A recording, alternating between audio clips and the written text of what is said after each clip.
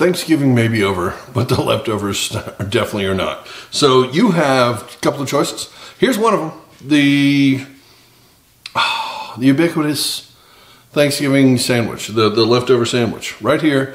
I'm gonna show you a couple tricks, a couple ways I do this, and one amazing cool thing to do with stuffing. Yeah, there's stuffing in here, but not how you think it is. I'm making a stuffing waffle. What is a stuffing waffle? in about uh, a minute and a half, you're gonna know. So uh, stick around. All right, so clearly this is going to be the interesting part here because we're making a stuffing waffle. What is a stuffing waffle? It's a waffle made of stuffing. There you go. Thanks for tuning in. See you next time. Uh, just kidding. I have a, a, waffle iron going. I have stuffing already did here. Already did it up. Uh, it's all fully did it. Uh, this is kind of a weird thing, but I have tried this with every kind of stuffing there is. I've made my own, the, the Mrs. Cubbison's or whatever it is, the fancier stuff in the box store brands. I even got the great value stuff once. This is the only one that works. Stovetop turkey stuffing is the only one that works for this. I've tried everything else. Personally, I might have broke some. Uh, but that's it's the only one that, that actually like holds together for this. So that's the one we're using.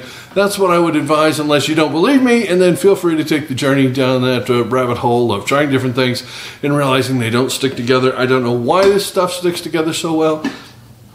Just does. All right. So we have our waffle iron here. I'm going to try and do this.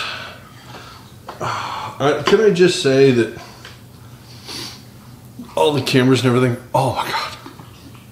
Yeah, this is really hard, but I like you people, so I'm willing to do it. Let's try. Okay, so we're going to take a nice healthy scoop of stuffing. You can see this is already sticking together pretty well. You want this to mound up pretty nicely. You're going to get two stuffing waffles out of one box. I swear to God, you can't believe how far these things go, but you would not eat one of these alone on its own. So don't think like Oh well, it's, that you you would split this and you'd get you know four servings out of it easy, maybe more. Maybe maybe you get eight servings out of it. All right, that is looking pretty stuffalicious at the moment right there. So we are going to bring this side down. Oh yeah, we're going to clamp. We're going to hold. We're holding. We're holding. Okay, you want to get that pressure in there real nice. Now I'm going to flip this back over this way for some stupid reason. I don't know. Anyways. I'm going to show you how to make this. I, you don't need to see me make two of them. So first to make that one unless it doesn't turn out. And then you're going to see me make the other one.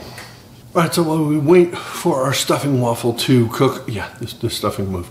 Uh, what did I actually put in there? Now, everybody has their own favorite type of stuffing or dressing or whatever. Technically, this is dressing because it's not going in the bird. Uh, so we are going to just simply, you know, do it however you want. What is your favorite thing? I will tell you that the secret to this, and I'll show you this real fast because it will explain a lot. You want small pieces. that's that's that's my advice. Small pieces. Big pieces get in the way and they make it hard and they don't allow this to come together as a waffle necessarily. Smaller pieces are better. So if you chop up things, chop them up small.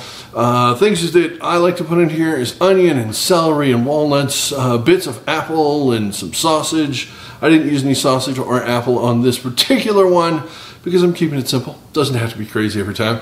But uh, yeah, just put a little extra seasoning in there and stovetop can actually taste pretty good.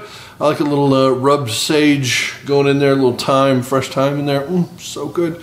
Uh, and of course, copious amounts of butter. That's uh, the secret to good, great stuffing, isn't it? Also, instead of using the water that they say to use, use your turkey stock. Come on, people. Since we're doing this after, uh, I can use the turkey stock that I made from the carcass when I made that on Thanksgiving. So it worked out pretty well for me. That's made with 100% turkey stock, real stuff. Okay, let's get this thing out of here. Should be about done, I think. When it stops steaming like crazy, that's how you know. All right, I'm gonna show you a trick on how to get this out of here too. This is really fun. Okay, we can see she looks beautiful. Okay, we are going to flip this back over to the other side. Get my plate over here.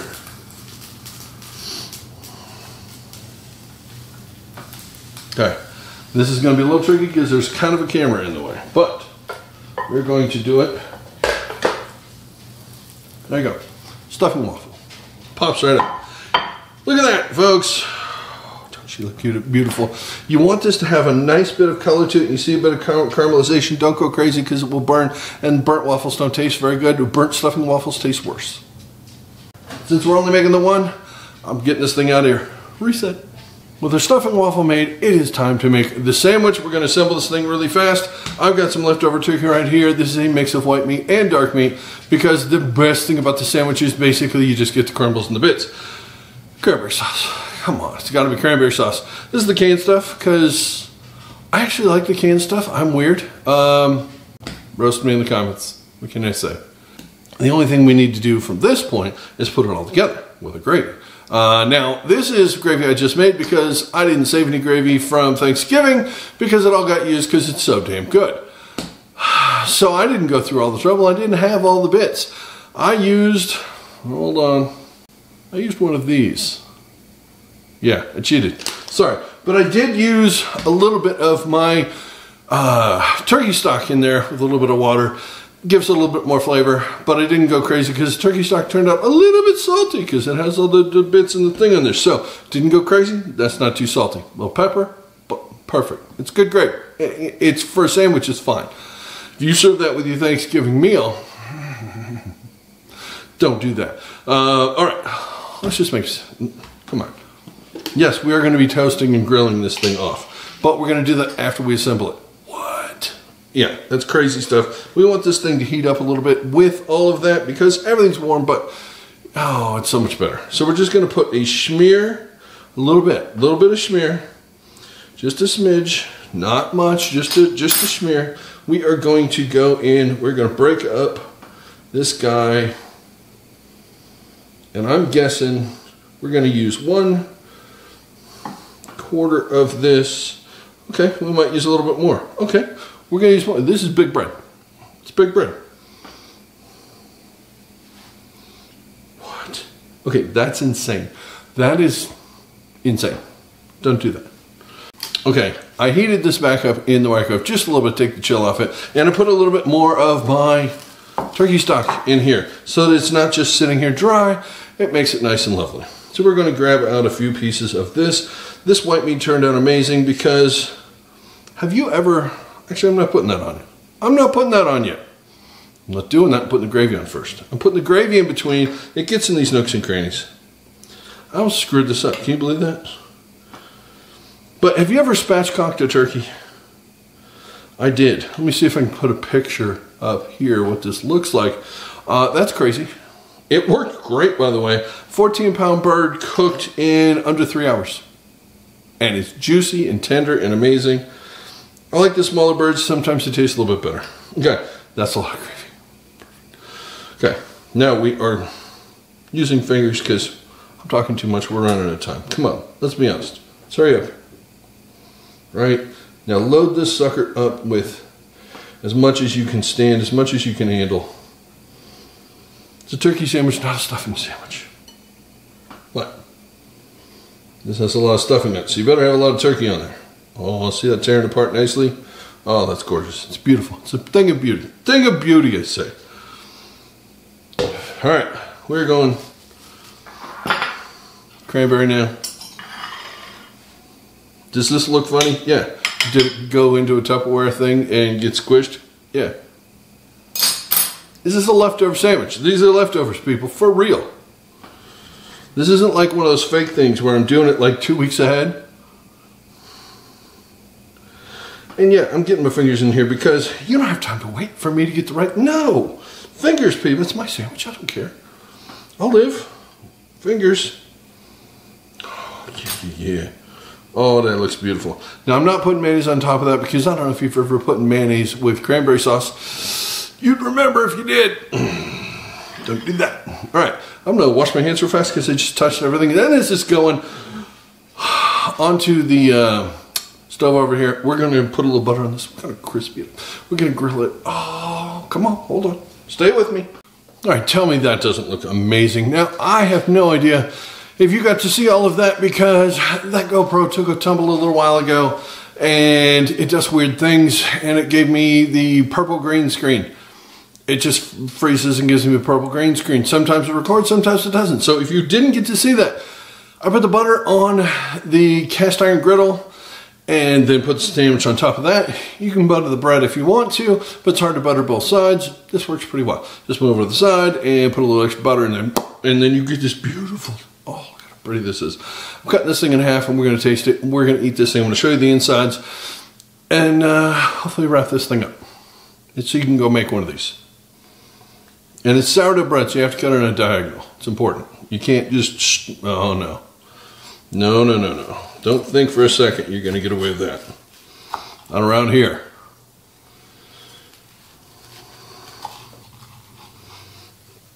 Oh, are you ready for this? I'm so ready for this. Okay, it's losing bits. It is losing bits. But that's that's all the goodness. You got your turkey, you got your stuffing, you got your cranberry, you got your gravy. The only thing you have to do now is take a bite of this thing. So I'm going to.